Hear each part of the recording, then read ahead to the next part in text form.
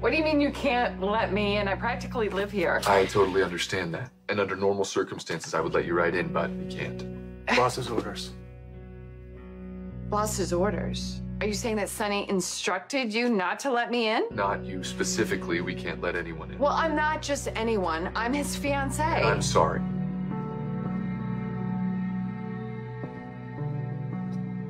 This is unbelievable.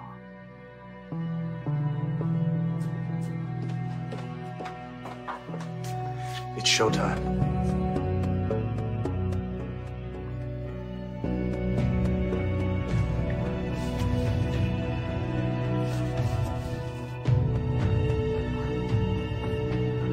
What do you think you're doing?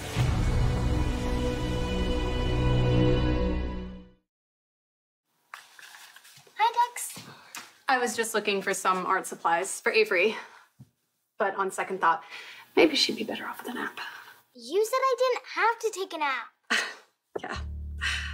As you can see, I have my hands full. Maybe it would be better if we didn't have any more interruptions.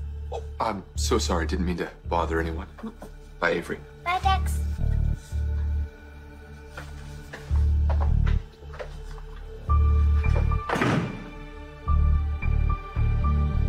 Betty doesn't want to be disturbed.